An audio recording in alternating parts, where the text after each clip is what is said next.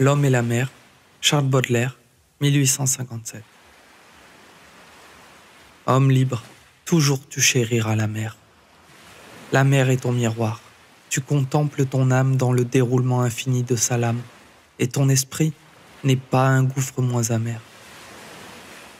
Tu te plais à plonger au sein de ton image.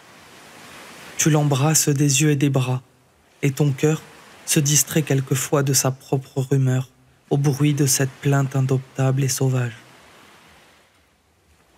Vous êtes tous les deux ténébreux et discrets. Homme, nul n'a sondé le fond de tes abîmes. Ô mère, nul ne connaît tes richesses intimes, tant vous êtes jaloux de garder vos secrets. Et cependant, voilà des siècles innombrables que vous vous combattez sans pitié ni remords, tellement vous aimez le carnage et la mort. Ô lutteurs éternels, ô frères implacables.